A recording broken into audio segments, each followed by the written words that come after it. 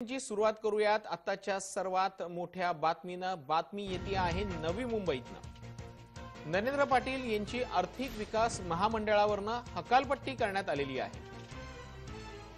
सरकारविरोधी भूमिका घेतल्यानं नरेंद्र पाटलांची हकालपट्टी करण्यात आलेली आहे.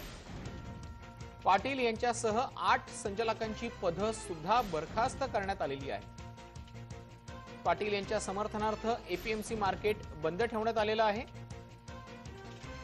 कांदा बटाटा मसाला मार्केट बंद तर भाजीपाला आणि फळ मार्केट सुरू आहे. पाटील यांच्या हकालपट्टीचा माथाडी कामगारांकडनं निषेध व्यक्त करण्यात आलेला आहे.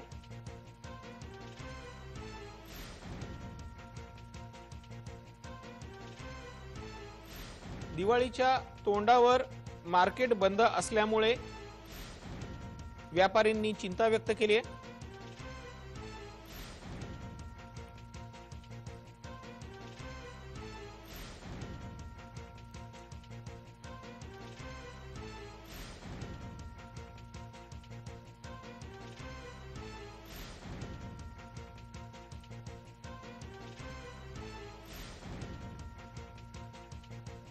पाटलांच्या हकालपट्टीचा माथाडी कामगारांकडनं निषेध वर्तवण्यात आलेला आहे. दिवाळीच्या तोंडावर मार्केट बंद केल्यानं व्यापारी नाराज आहेत. नरेंद्र पाटील यांची आर्थिक विकास महामंडळावरनं हकालपट्टी करण्यात आलेली आहे. सरकार विरोधी भूमिका घेतल्यानं नरेंद्र पाटलांची हकालपट्टी करण्यात आली पाटील यांच्यासह आठ संचालकांची पदं सुद्धा बरखास्त करण्यात आलेली आहेत.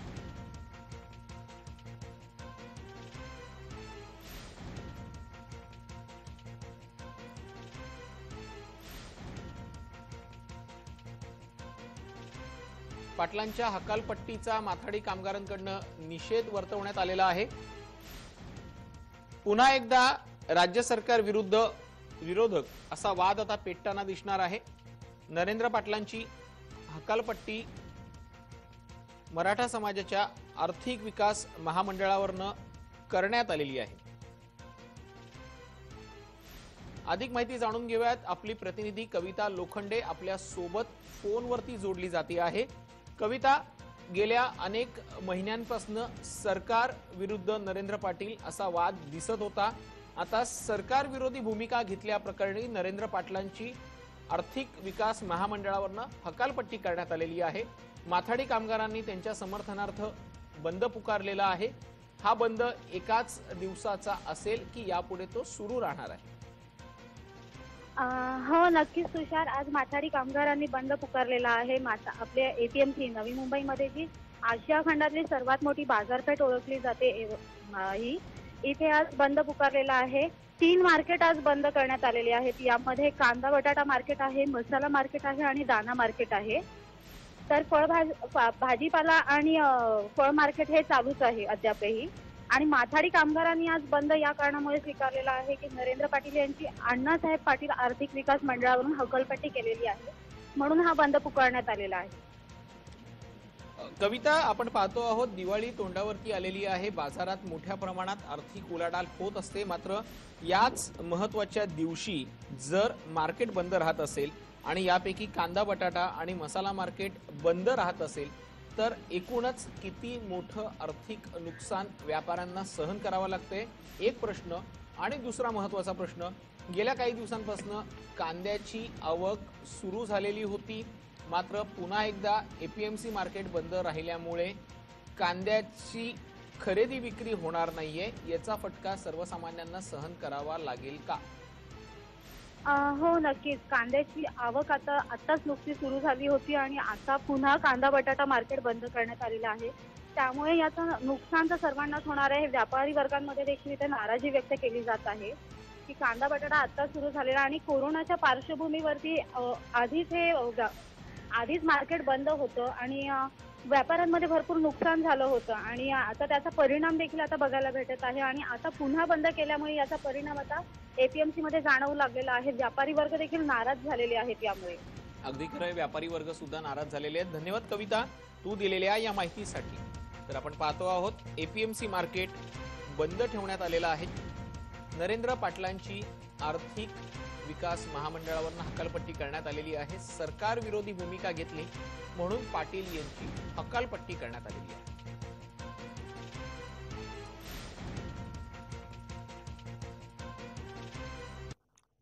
ओबीसी समाजाच्या वतीनं मुंबईमध्ये त्यांची गोलमेज परिषद पार पडलेली होती. यामध्ये मराठा समाजाला आरक्षण द्यायचं नाही किंबहुना मराठा समाजाला ओबीसी अंतर्गत आरक्षण द्यायला ओबीसी समाजाच्या गोलमेल परिषदेत विरोध दर्शवण्यात आलेला होता. मात्र मराठा समाजाला ओबीसी मध्ये आरक्षण देता येऊ शकतं असा दावा ओबीसी नेते हरिभाऊ राठोड यांनी केलेला आहे.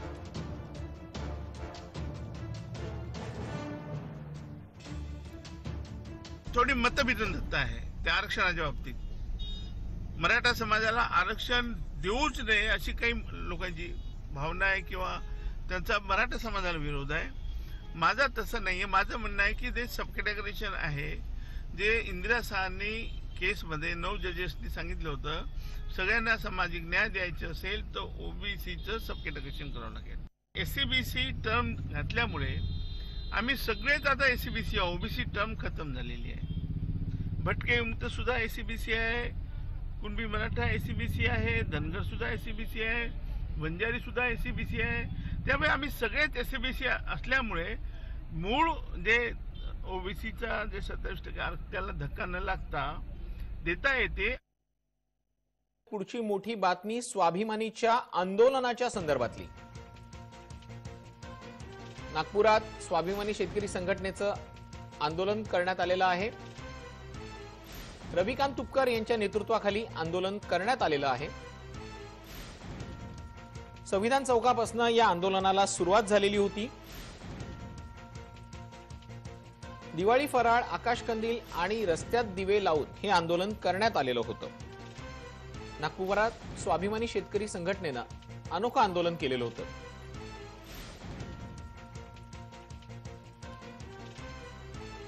साहेबांना आम्ही विनंती करतो आहे की महाराष्ट्रामध्ये मोठ्या प्रमाणात शेती पिकांचं नुकसान झालेलं आहे. राज्य सरकारनं जी दहा हजार कोटीची मदत दिली ही अत्यंत तोकडी आहे. आणि त्यातले फक्त पाच हजार कोटी शेतकऱ्यांच्या वाट्याला येणार आहे. आणि त्यातही दोन हेक्टरची मर- मर्यादा राज्य सरकारने घातलेली आहे. त्याच्यामुळे राज्य सरकारनं ही भिकाऱ्यासारखी मदत आमच्या याच्यावर टाकलेली तुकडा भिकेचा. परंतु केंद्राने सुद्धा मदत केली पाहिजे मोठं मन केलं पाहिजे. म्हणून गडकरी साहेबांना आम्ही विनंती करतो की तुम्ही मोदी साहेबांना सांगा टाळेबंदीच्या काळात वीज ग्राहकांना आवाच्या सव्वा बिलं आलेली होती. यानंतर वीज ग्राहकांना दिलासा देऊ असं म्हटलं जात होतं. मात्र दिवाळी तोंडावर आलेली आहे. वीज ग्राहकांना दिलासा कधी? असा प्रश्न विश्वास पाठकांनी उपस्थित केलेला आहे. सरकार वीज ग्राहकांच्या आत्महत्येची वाट पाहतेय का? असं सुद्धा ते म्हणालेले आहेत. भाजपनं ऊर्जामंत्री नितीन राऊतांना हा सवाल केलेला आहे. दिवाळी तोंडावर आलेली आहे. वीज ग्राहकांना दिलासा कधी देणार? विश्वास पाठकांनी प्रश्न केलाय. सरकार वीज ग्राहकांच्या आत्महत्येची वाट पाहतेय का? असं सुद्धा ते म्हणालेले आहे.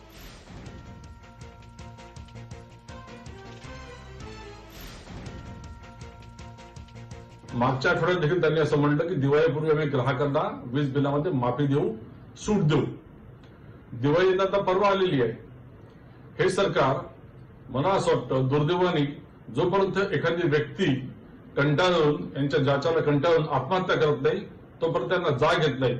आमची मागणी आहे दिवाळीच्या आत महाराष्ट्रातल्या वीज ग्राहकांना मोठ्या प्रमाणामध्ये या सरकारने सवलत द्यावी. आता पाहूयात बातमी शाळांसंदर्भातली. कोरोनाच्या कटकटीत शाळा नको रे बाबा. शाळेत मुलांना पाठवण्याबद्दल पालक अद्यापही साशंकच. तीन चतुर्थांश पालकांचं ऑनलाईन शिक्षणाला प्राधान्य. कोरोनाच्या परिस्थितीत ऑनलाईन शिक्षण सर्वात सुरक्षित असल्याचं पालकांचं मत आहे.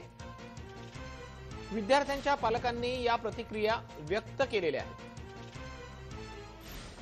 अवघे बावीस टक्के पालक मुलांना शाळेत फक्त परीक्षेसाठी पाठवण्यासाठी तयार आहेत. ठराविक वेळेसाठी पाल्यांना शाळेत पाठवण्याची पालकांची तयारी आहे.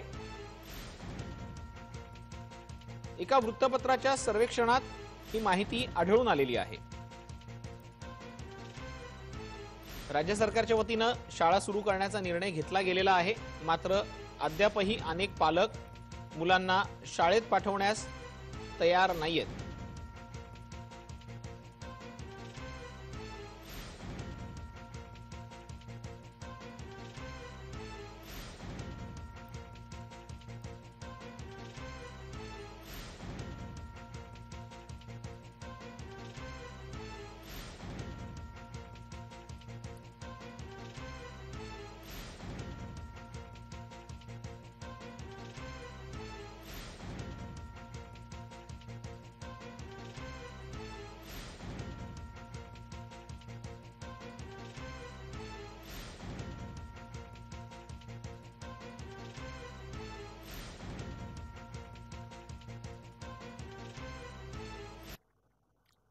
आता पाहूयात पुढची आणखी एक मोठी बातमी. अनलॉक पाच मध्ये मल्टिप्लेक्स नाट्यगृह सुरू जरी झाली असली तरीही मुंबईकरांसाठी सिनेमा नाटक महागण्याची शक्यता वर्तवली जाते आहे. मनोरंजन कर वाढवण्याचा निर्णय मुंबई महापालिकेनं घेतलेला आहे. स्थायी समितीच्या बैठकीत निर्णय होणार आहे.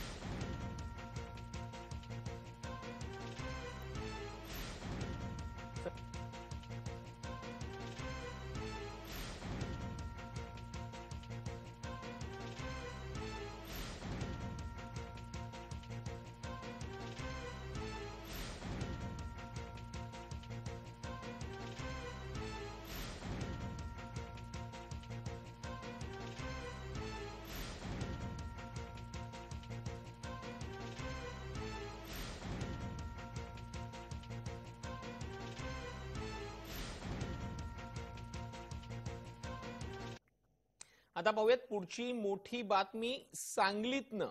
सांगलीमध्ये एका युवकाची हत्या करण्यात आलेली आहे. सांगलीत युवकाची हत्या करण्यात आलेली आहे.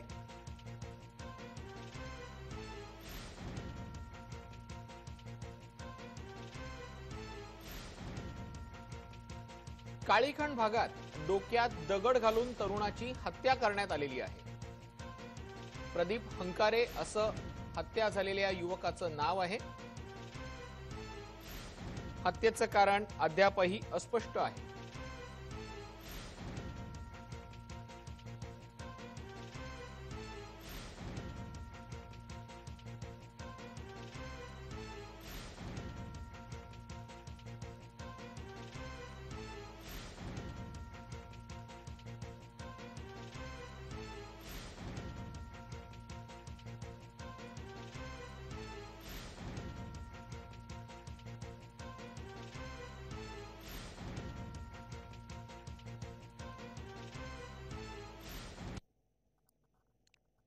आता पाहूयात पुढची मोठी बातमी नाशिक मधनं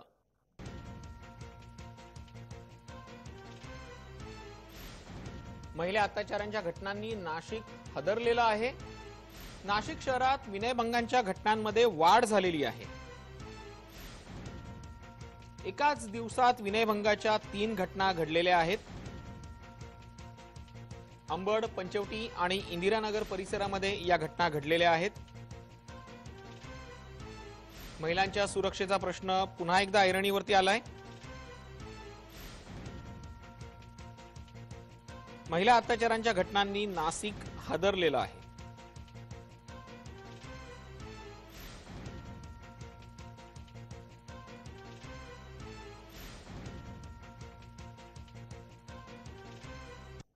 आता पाहूयात पुढची मोठी बातमी कुख्यात गुंड दाऊद इब्राहिमच्या संदर्भातली. कुख्यात दाऊद इब्राहिमच्या संपत्तीचा लिलाव सुरू झालेला आहे. सतरा मालमत्तेंच्या लिलावासाठीची प्रक्रिया सुरू झालेली आहे. दाऊदचं मूळ गाव असलेल्या कोकणातल्या मालमत्तेचा लिलाव केला जातोय. इच्छुकांचे अर्ज सहा नोव्हेंबर पर्यंत मागवले जाणार आहेत.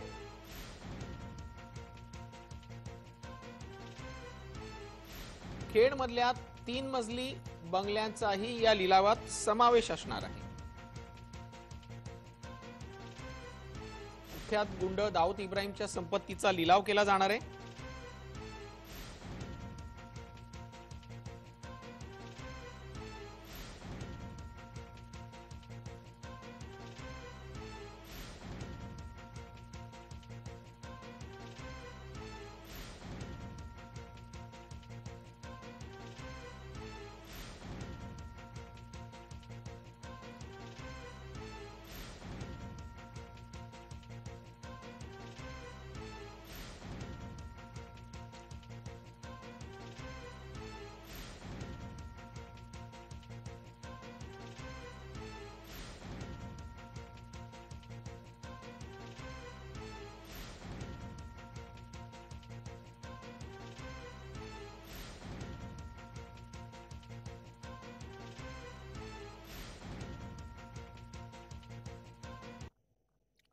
आता पाहूयात दुसरी मोठी बातमी अपघाताच्या संदर्भातली.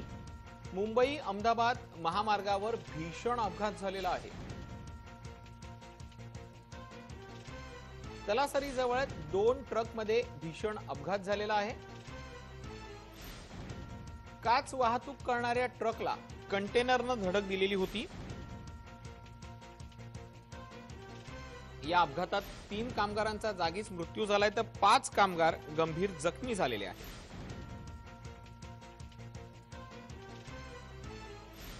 मुंबई अहमदाबाद महामार्गावरती भीषण अपघात पाहायला मिळालाय.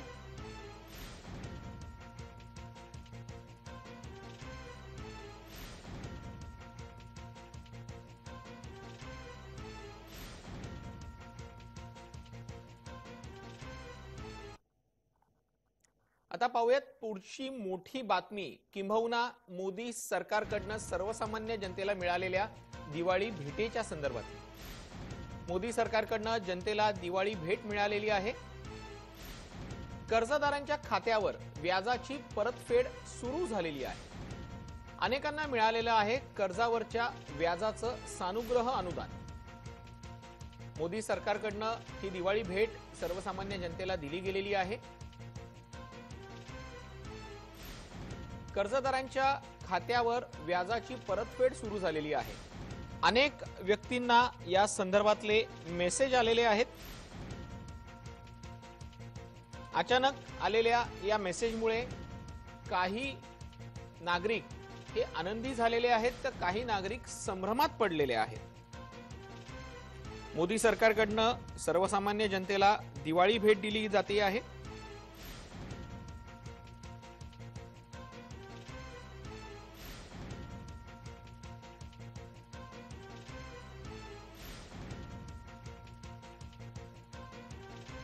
अनेक नागरिकांच्या खात्यात व्याजावरचं सानुग्रह अनुदानाची रक्कम जमा व्हायला सुरुवात झालेली आहे.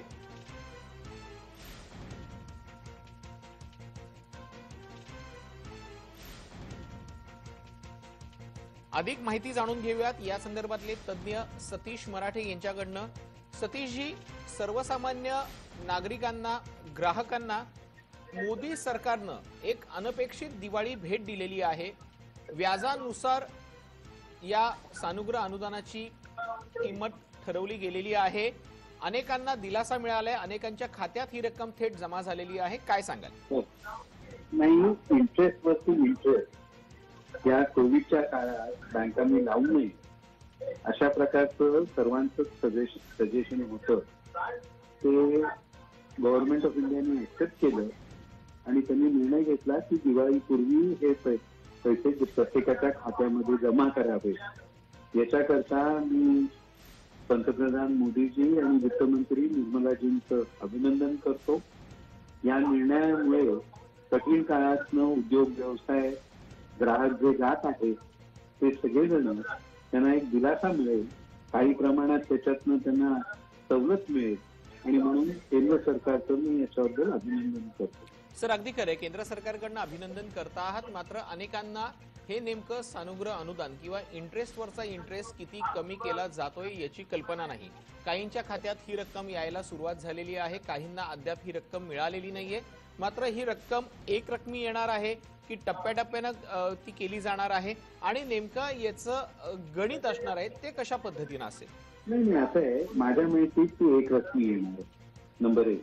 आणि आपल्याकडे कोट्यावधी बँक अकाउंट आहेत. बँकां वेगवेगळ्या बँकांचे मिळून. त्याच्यामुळे त्या त्या बँकेमधनं ते पैसे प्रत्येकाला मिळणार आहेत. त्याच्यामुळे कॅल्क्युलेशन करणं बँकांच्या याच्यातनं मिळणं त्याच्यात थोडं पुढे मागे होत असेल तर ते पैसे सगळ्यांना मिळतील. त्याच्यात काही प्रश्न येणार नाही.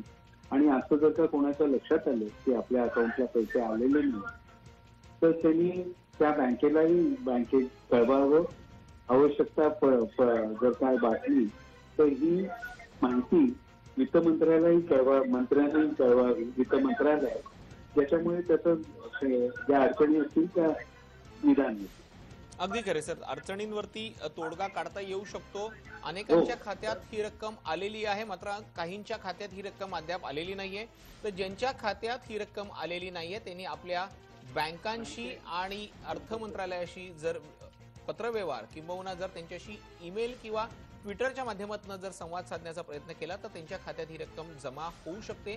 आणि दिवाळी आधी सर्वसामान्य कर्जदारांसाठी एक चांगलं गिफ्ट केंद्र सरकारच्या वतीने दिलं गेलेलं आहे. धन्यवाद सतीशजी तुम्ही दिलेल्या या माहितीसाठी. तर आपण पाहतो आहोत केंद्र सरकारच्या वतीनं आता सर्वसामान्य नागरिकांना चांगलीच दिवाळी भेट दिली गेलेली आहे.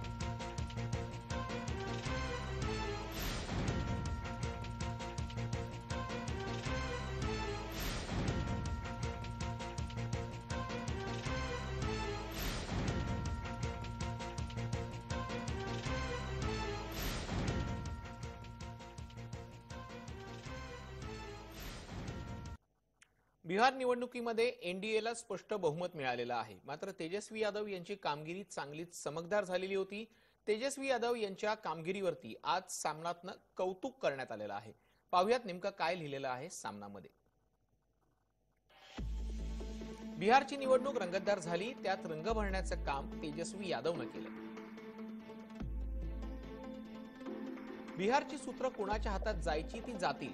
पण बिहारच्या निवडणुकीने देशाच्या राजकारणाला तेजस्वी नावाचा नवा मोहरा दिला आहे. त्याच्या लढ्याचे अभिनंदन करावे तेवढे थोडेच पण बिहारच्या राजकारणात नव्या तेजस्वी पर्वाची सुरुवात झाली.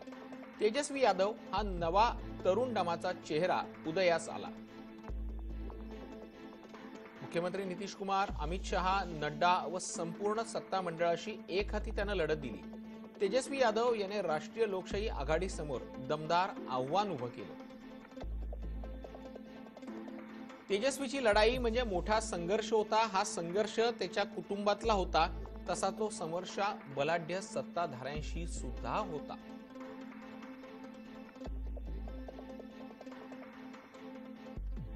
तेजस्वीची कोंडी करण्याची व बदनामी करण्याची एकही संधी दिल्ली व पटनाच्या सत्ताधाऱ्यांनी सोडली नाही. जंगलराजचे युवराज अशी निर्भत्सना पंतप्रधानांनी करूनही तेजस्वीनं संयम ढळू दिला नाही व लोकात जाऊन ते प्रचार करत राहिले. पंतप्रधान नरेंद्र मोदी या बलदंड नेत्यासमोर व बिहारमधल्या सत्ताधाऱ्यांच्या झुंडशाहीसमोर तो थांबला नाही अडखळला नाही याची नोंद देशाच्या राजकीय इतिहासात नक्कीच राहील.